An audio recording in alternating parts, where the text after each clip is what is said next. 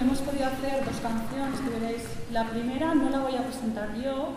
porque, bueno, eh, se ha presentado Luis, se ha, preparado Luis una presentación y nosotros la cuento.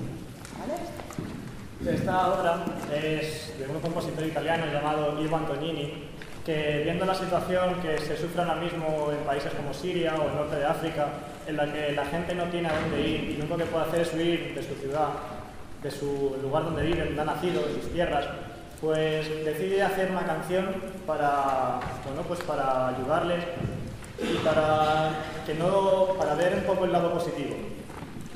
aunque el tema es complicado y es duro, la melodía es bastante bonita y a decir verdad transmite esperanza. La canción en sí trata sobre un padre que, muy a su pesar, mete a su hijo en una patera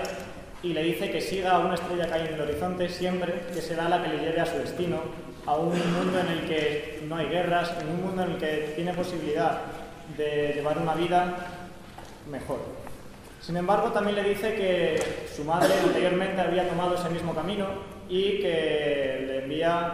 eh, muchas fuerzas y que le espera en el fondo del mar. Es una canción, un tema triste